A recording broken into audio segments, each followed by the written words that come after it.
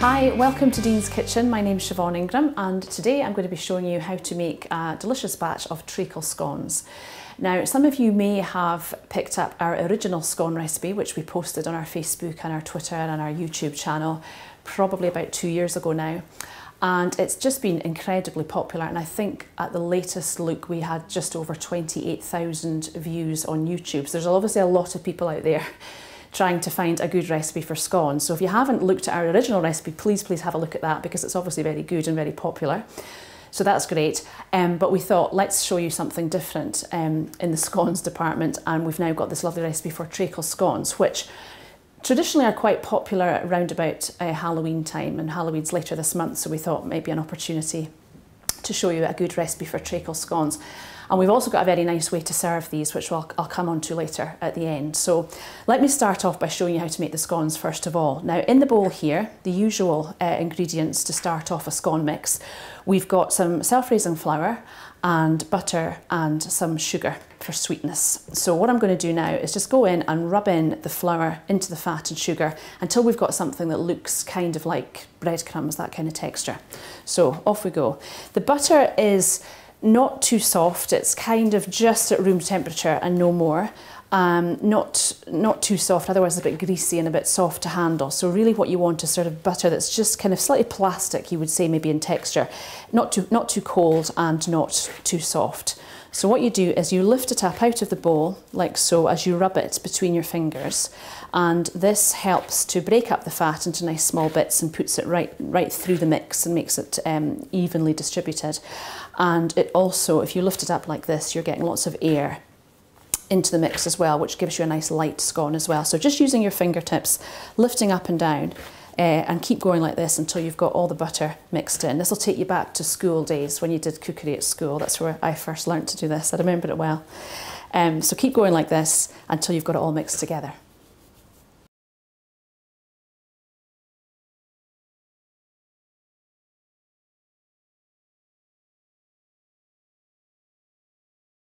So here we are, we've rubbed in now for a couple of minutes and we've got, as you'll see, something that resembles quite fine breadcrumbs. So the fat is all mixed in evenly through the flour and the sugar and we're ready to move on and add the rest of the ingredients. So next up in this little bowl here, I've got some baking powder, which you could actually add in at the start, and some mixed spice and some ground ginger. So we're going to add those in as well and just mix them through like so. And then I'll tell you what liquid we're going to use to bring this together into a nice scone dough. Right, so in the jug here, we've got a mix of milk and black treacle. Um, or molasses, some people call it as well. So basically what you do is weigh out your treacle and your milk into a glass jug like this or something, a bowl or whatever you've got, and just keep mixing. The treacle is really thick and very sticky. I'm sure you'll know if you've ever handled it before. But if you keep mixing into the milk, it does eventually all dissolve in and you're, you're left with a very nice dark liquid, which we're going to use to bring the scone mix together. So that's it, just about there. Just make sure we've got all the treacle off the bottom. So that should do it, I think. Okay.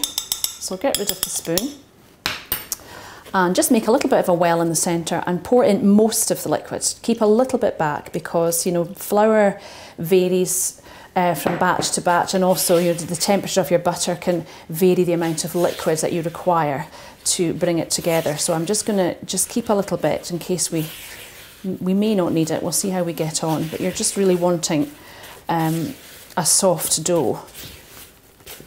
And the other thing you might notice with this dough as well is as you work it, don't panic if it starts to look really, really soft and gunky because I know we're going to have to sort of roll this out and it does look very, very soft. Um, but it will sort of come together and stiffen up a little bit so you're left with something that you can actually roll out.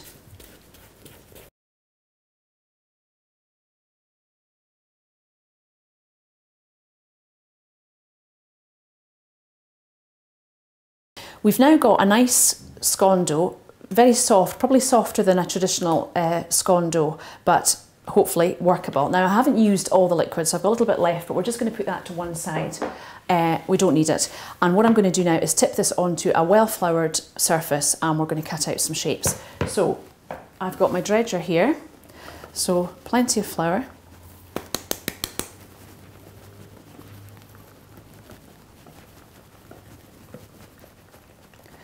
Right, and just tip this out like so.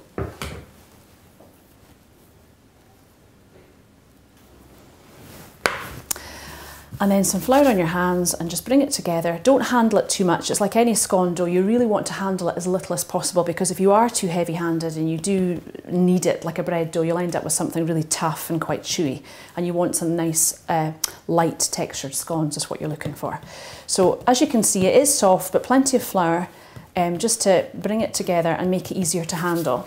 And then I've got my rolling pin here. So again, a little bit of flour onto it and just roll out to probably mm, a couple of centimetres kind of thickness is about right because if you roll them too thin you just won't get a nice a nice lift on your scones so just a little bit more. And just keep moving and, and turning so that you get a nice even thickness. That's probably about right. Okay there we are. And then whatever size you want. We've got quite a small fluted cutter. You can make plain or fluted and you can make big or small, whichever you want. And just put a little bit of flour on the cutter and then just press straight down into the mix and pop them onto a baking tray. So you'll see, although it was a very soft mix, don't let that scare you because it does come okay. You just need to let it sit for a minute or two just to let the liquid absorb and then you've got something that you can handle. So we're just going to cut out enough to fill this baking tray just to show you how it's done. And what you do is once you've got all your scones cut, you just bring the dough again as gently as you can together on your floured worktop. Join up all the little bits and get rid of the creases if you can.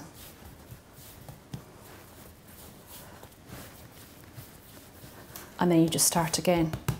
So we'll give Get the rolling pin back and roll again, keeping around the same thickness as we had the first time. Don't go too thin. And then off we go again, just cutting shapes until you've used up all of the dough. Right, we're just about there. I'm just going to do one more quickly just to fill the tray. Kids would love doing this. So if you've got some time off with the kids in the October holidays, or if you're making some treats for Halloween, this would be a good one to do. Messy, but good.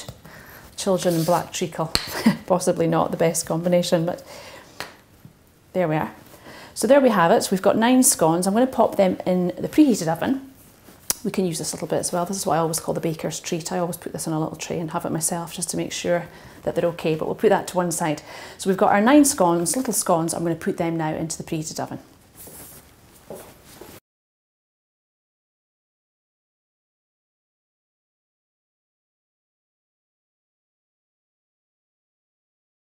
Our scones are now ready, so let's take a wee look.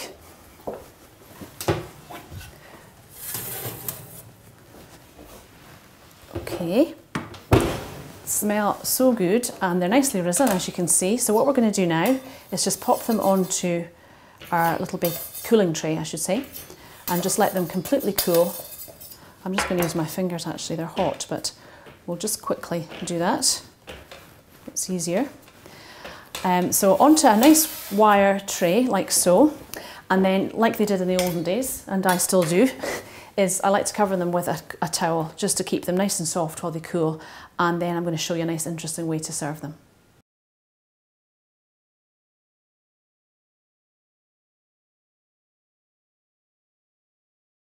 Right, so our scones are nicely cooled and as I mentioned at the beginning, I'm going to show you a slightly different way to serve these. That's something that's quite new to me that I discovered quite recently.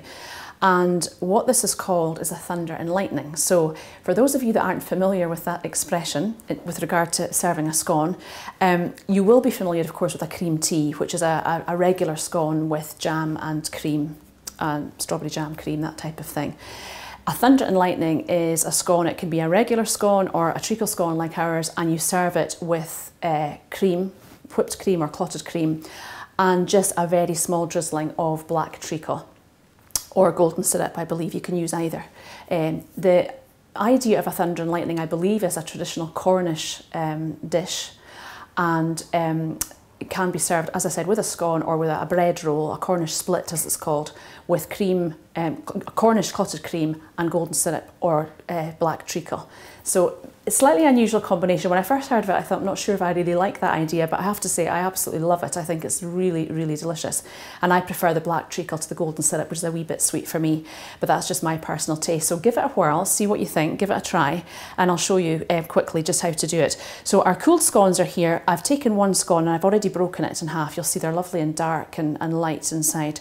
So what I'm going to do now is serve it up. And in this little dish here, we've got some delicious Cornish clotted cream, and this is just absolutely to die for. I think this is so, so good. It's basically a Cornish cream that's been scalded um, with in a, in a hot bath of water so that it kind of cooks it slightly and you end up with this delicious crust on the top and it's just so creamy and probably loaded with calories and fat obviously uh, but let's not worry about that. Um, it's very very good, very tasty so I'm going to take a little bit of this. It's lovely and thick and creamy as you can see and I'm just going to spread that onto the base of the scone like so and you can be as generous as you wish with the cream okay and next up we've got our black treacle I'm sure you're all familiar with um, black treacle. It's looked exactly the same for years and years and years. The tins don't ever change, which I think is quite a nice, quite nostalgic looking product. So just take a little bit on your spoon and then just trickle it over the cream. You don't need too much. Just be aware not to add too much because it can be a little bit overpowering. The treacle, it's quite strong flavoured. So just add a little bit as so, okay, and I'm going to put that to one side. And then you just take your the, the top of your scone and pop it on like so, to get rid of that knife. And what I'm going to finish off with is just a very little dusting of icing sugar like that. And then it's perfect to serve with a nice refreshing cup of tea. There we go. So if you fancy a thunder and lightning, that's how to do it. As I say, be as generous with the clotted cream as you like, um, but just a little bit of the treacle, and it works beautifully. And it works very nicely with the treacle scones or with plain scones. So um, give it a whirl and see how you get on. And if you do get round to trying the recipe, uh, remember to put a picture up on our Facebook or Twitter page, and we'd like to see see what you're doing. So there we go, uh, a thunder and lightning. As I say, treacle scones perfect for Halloween. So if you want to do a bit of baking with the kids for Halloween, treacle scones, just as they are with a bit of butter, also very good as well. So I hope you enjoyed that recipe. Thank you for watching.